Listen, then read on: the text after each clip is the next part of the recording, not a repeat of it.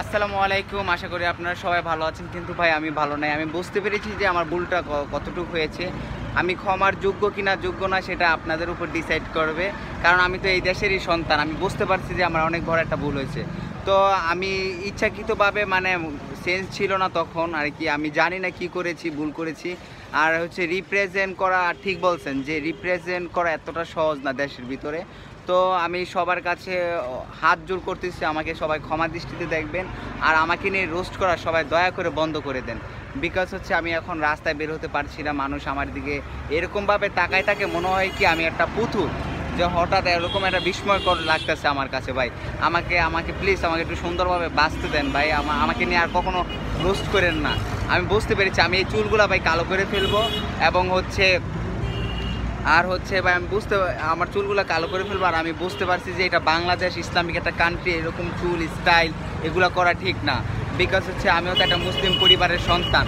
তো আমি আরেকটা আপনাদের কাছে রিকোয়েস্ট করব যে আমার ফ্যামিলিকে নিয়ে কিছু বলবেন না, খারাপ কিছু। বিকজ হচ্ছে ভাই আপনারা তো মা বাবা আছে, তাই না? তো এগুলা বাইক নিয়ে রোস্ট করবেন না করবেন না। আর হচ্ছে মামুন, অপু, এদের মাঝখানে আমাকে জড়াবেন না বিকজ হচ্ছে তারাও একজন ক্রিয়েটর আমি একজন ক্রিয়েটর বাট আমি লাইকই অফ করে দিচ্ছি। শুধু ভাই, আপনা- আপনারা চাইতেছেন আমি জানি। এটা ভালো না, আমি এটা করব না, শেষ। কোনটা ভালো, কোনটা মন্দ আমার ফ্যামিলি ডিসাইড নিয়েছে, এই জন্য আমি লাইকই অফ করে দিচ্ছি। আর হচ্ছে আরেকটা কথা বলব সবার কাছে।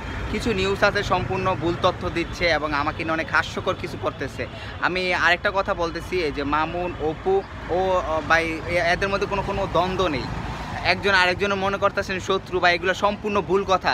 এগুলা হচ্ছে ভাই লাইক পেজের মানে ইয়া ফেসবুক পেজ তারপর অন্যান্য পেজ এগুলা স্টিকার মাইরা ভাই এডিটিং করছে। এডিটিং করে ভাই সম্পূর্ণ ভুল তথ্য দিছে। আর হচ্ছে আরেকটা কথা আমি ভাই পুরো বাংলাদেশকে বলতেছি, আমাকে সবাই ক্ষমা দৃষ্টিতে দেখবেন। আমি বুঝতে পারি না কারণ হচ্ছে ভাই প্রত্যেকটা মানুষ কিন্তু একটা না একটা ভুল করে।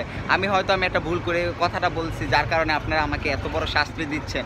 আমি ভাই সরি সরি বলতেছি সরি জানি কিনা ক্ষমার আপনারা আমার এটা ক্ষমার দৃষ্টিতে নেবেন কিনা? আমি বুঝতে পারছি সরি সরি খোদা হাফেজ।